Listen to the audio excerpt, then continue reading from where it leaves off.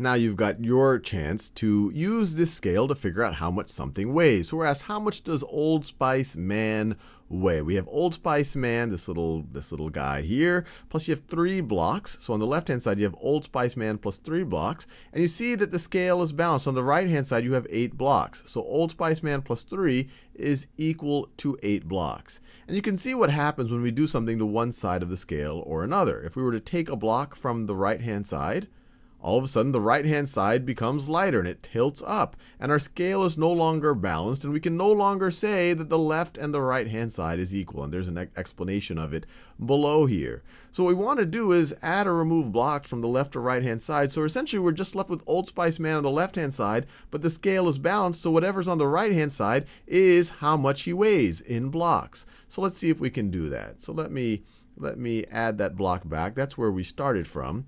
So let's see. I want to get rid of these three. So if I take one away from the left-hand side, well, I can't just do it there because now all of a sudden the left-hand side's too light. So I'm going to have to take one away from the right-hand side as well. Well, let me do it again. Take one away from the left-hand side. We'll have to do one from the right-hand side as well.